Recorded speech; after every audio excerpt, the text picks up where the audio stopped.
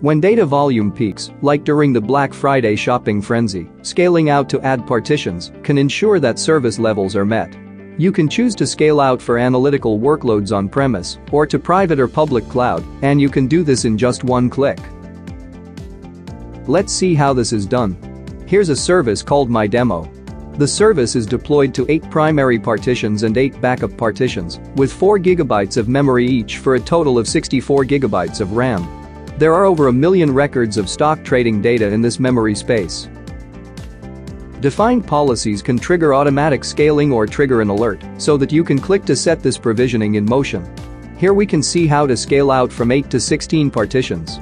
You can make adjustments to the RAM or CPU settings if necessary, during the process the data is rebalanced within seconds across the different partitions, with minimal data shuffling.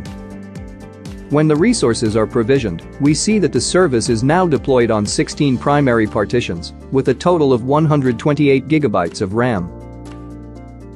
The data records are now evenly distributed between the 16 partitions,